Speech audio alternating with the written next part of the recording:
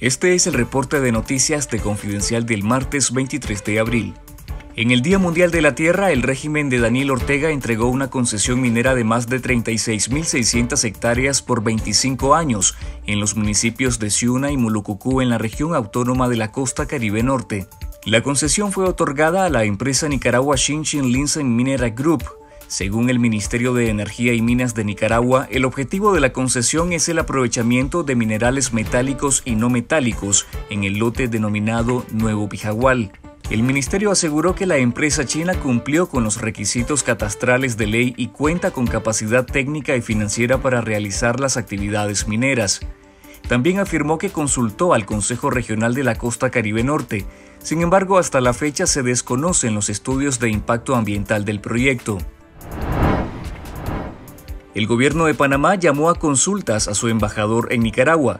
Panamá argumenta que hay una violación flagrante y reiterada del derecho internacional de parte de Nicaragua por permitir al expresidente panameño Ricardo Martinelli desplegar acciones político-partidistas desde la Embajada de Nicaragua en la ciudad de Panamá donde se encuentra asilado desde principios de febrero de 2024. La Cancillería de Panamá publicó un comunicado en el cual indicó que la República de Panamá se siente verdaderamente afectada en su integridad territorial por la actitud permisiva de la República de Nicaragua que viola flagrantemente y de manera reiterada normas fundamentales del derecho internacional expresó la Cancillería panameña este lunes en un comunicado. El expresidente de Panamá, Ricardo Martinelli, tiene una sentencia de más de 10 años de cárcel por blanqueo de capitales en el caso de New Business.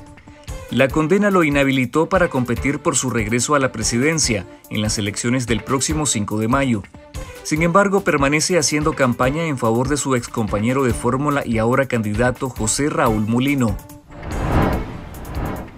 El sacerdote Aurelio Bayardo López Ramírez, vicario de la parroquia El Sagrario con sede en la Basílica Catedral de la Diócesis de León, salió de Nicaragua el 19 de abril, sumándose a la creciente lista de clérigos forzados al exilio en medio de un clima de persecución para la Iglesia Católica en Nicaragua. El sacerdote tenía planeado realizar estudios fuera del país en una fecha posterior, pero adelantó su salida de forma inesperada.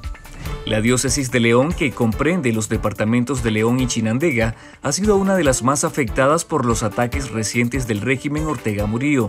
El propio obispo de León, Monseñor Sócrates René Sándigo, es vigilado 24 horas, según denunció en redes sociales la abogada Marta Patricia Molina, autora del informe Nicaragua, una iglesia perseguida, en el que ha documentado cientos de agresiones a la Iglesia Católica a partir de 2018.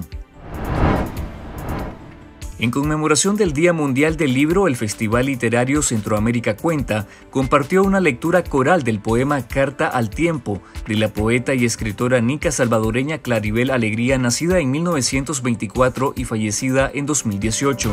Un total de 15 creadores y creadoras de Iberoamérica se unieron a la lectura coral, entre ellos Sergio Ramírez, Daniel Morzinski, Daniel Rodríguez Moya, Roxana Méndez, Fernando Valverde, Patricia Flacol Alegría, Jorge Galán, Santiago Herrero, Chus Visor, Karen Flacol Fauche, William González Guevara, Yoconda Belli, Mario Martz, Eric Flacol Alegría y Luis García Montero. Esta es la quinta lectura colectiva de poesía en ocasión del Día Mundial del Libro que realiza Centroamérica Cuenta. La onceava edición del festival se realizará este año del 22 al 26 de mayo en Ciudad de Panamá con más de 50 artistas de 15 países de la región reunidos en honor a Claribel Alegría. En Confidencial Digital le invitamos a conocer más sobre Claribel Alegría en nuestro video de los clásicos de esta semana titulado Amor, Poesía, Política y Revolución con Claribel Alegría, que puede encontrar en la descripción de este video.